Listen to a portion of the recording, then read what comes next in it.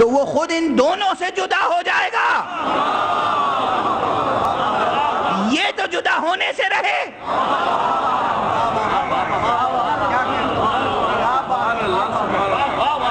फ़र्ज़ कीजिए आपके सामने आज ये कहूँ, मैं कहूँ नऊजुबिल्ला खुदा वो दिन न लाए मेरी ज़िंदगी में। मैं कहूँ कि मेरे लिए कुरान काफ़ी है। खुदा की कसम, न कुरान मेरे काम आएगा, न अहले बैत।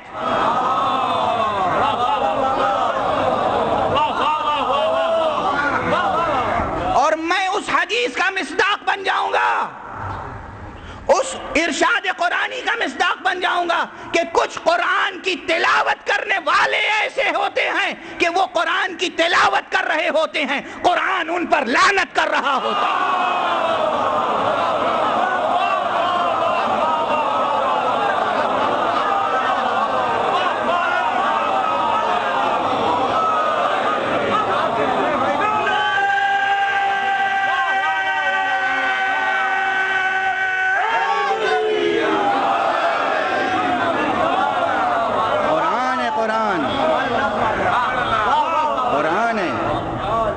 रुब्बतालिन लिल कुरान वल कुरान यलअनो। ऐसे भी तिलावत करने वाले कुरान के हैं कि कुरान उन पर लानत करते हैं। हम्म? ये कुरान है। हुजूर का इरशाद है कि दो चीज़ें छोड़ रहा हूँ। यानी किताब भी छोड़ रहा हूँ और किताब का पढ़ाने वाला भी छोड़ रहा हूँ। तन्हा किताब नहीं छोड़ रहा। हैं? तेज़ी से गुफ्तु आगे बढ़ाऊं।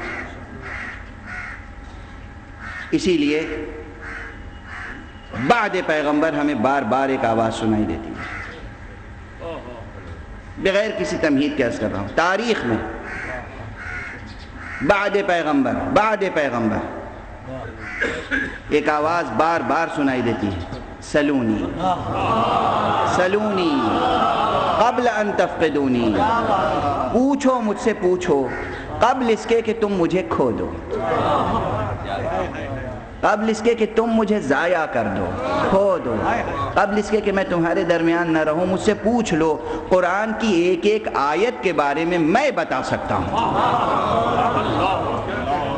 कुरान की एक एक आयत के बारे में मुझसे पूछो मैं जानता हूँ कौन सी आयत कब नाजिल हुई कौन सी आयत रात की तारीकी में नाजिल हुई कौन सी आयत दिन की रोशनी में नाजिल हुई कौन सी आयत बर में नाजिल हुई कौन सी आयत बहर में नाजिल हुई कौन सी आयत बज़म में नाजिल हुई कौन सी आयत रज़म में नाजिल हुई एक एक आयत के बारे में मैं जानता हूँ और सिर्फ़ यही नहीं कि कब नाजिल हुई कहाँ नाजिल हुई किसके बारे में नाजिल हुई उसमें हुक्म क्या है उसकी तंजील क्या है उसकी तावील क्या है?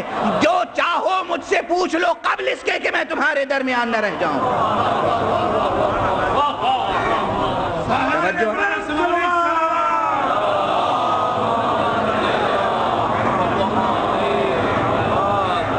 मुसलसल दावत सलूनी देते रहे। लेकिन यहाँ पर भी मैं तरकीब बहुत एहतियात से कह रहा हूँ।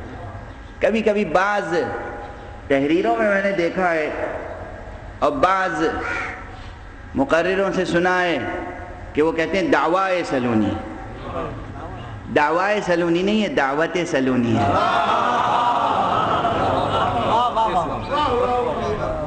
दावत सलूनी है। पूछ लो मुझसे, पूछ लो। पूछ लो, ये एक शफीक उस्ताद। आजकल तो एक मुश्किल है। अभी मैं कुछ दिनों कबल लंदन में था वहाँ मेरा एक भतीजा जो है वो यूनिवर्सिटी जाता है। मैंने यूनिवर्सिटी के औज़ा अहवाल दरियाफ़्त किए। तो कहा कि मुश्किल ये है वहाँ कि अगर आपने प्रोफेसर साहब का लेक्चर अटेंड कर लिया तो ठीक है। और उसके बाद अगर कोई बात पूछी तो वो पाबंद नहीं है बताने के।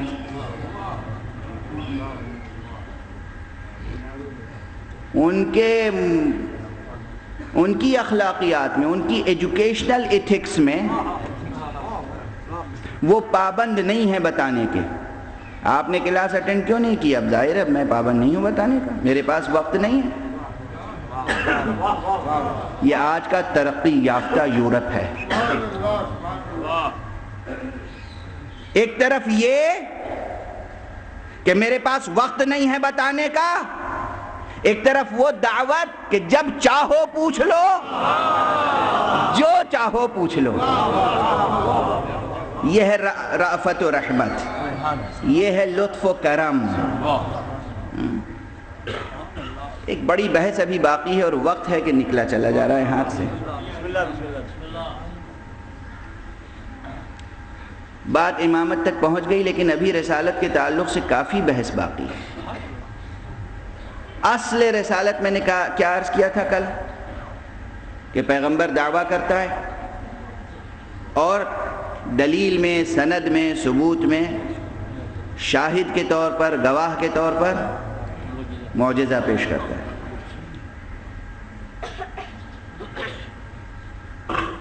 उलन्ना बशर मिसलकुम यू हाया कह दीजिए कि मैं तुम्हारा जैसा बशर हूँ, मुझ पर वही नाजिल होती है। क्या वही नाजिल होती है कि अल्लाह एक है?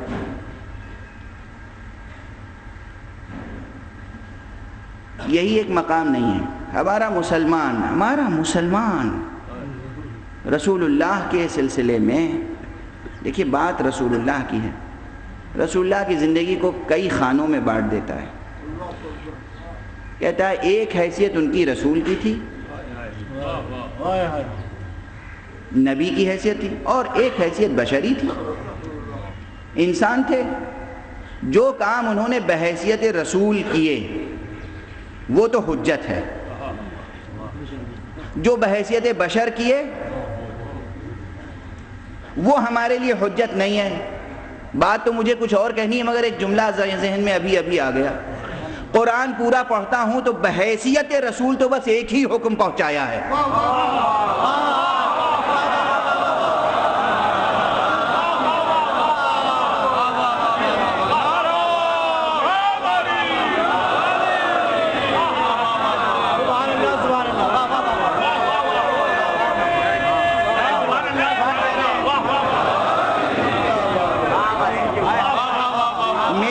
नज़र से नहीं।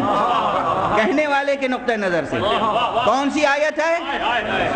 या युहर रसूल ए रसूल, पहुँचा दीजिए।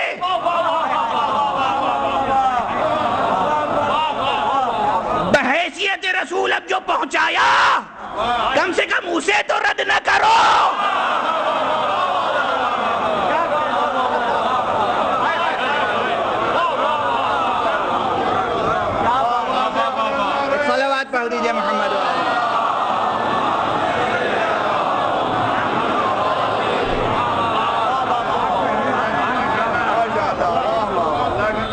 लिए कोई मुश्किल नहीं है। आप कहते बहसीत रसूल। बहसीत रसूल। जो बहसीत रसूल पहुंचाई हैं बातें, वो हुज्जत हैं। तो अब तफसीरों को उठा के देखिए, या अयुहर रसूल अजीब तेवर है। अय रसूल यानी पूरे कुरान में, ये कोई मैं नई बात नहीं कह रहा हूँ, सिर्फ़ याद दहानी करा रहा हूँ। पूरे कुरान में जिस लुत्फ से, जिस मोहब्बत से, जिस इज़्ज़त से पैगंबर का को खिताब किया गया है, वो बेनज़ीर लुत्फ़ इलाही उससे सामने आ गया उसी बिना पर तो हम इनको महबूब इलाही कहते हैं। परवरदिगार किस लुत्फ से इन्हें पुकारता है? तमाम नबियों को नाम लेके पुकारा है। या आदम, या नूह, या इब्राहिम, या मूसा, या ईसा, या यहिया, आप पढ़ लीजिए कुरान।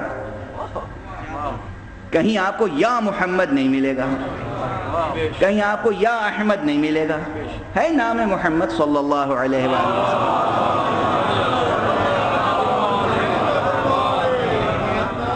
मगर वो पुकारा किस तरीके से? या अयुहल मुजम्मिल या अयुहल मुद्दसर ताहा, यासीन। यानी पुकारने के अजीब अजीब अंदाज। ए मेरे सैयद सरदार, ए इंसान कामिल, ए मेरे पाकिज़ा खसाल, ए मेरे सर चश्मा तहारत, ए कमली ओढ़ने वाले, ए रिदा ओढ़ने वाले यानी जैसे जैसे आप किसी अपने प्यारे और महबूब को उसकी अदाओं से पुकारते हैं।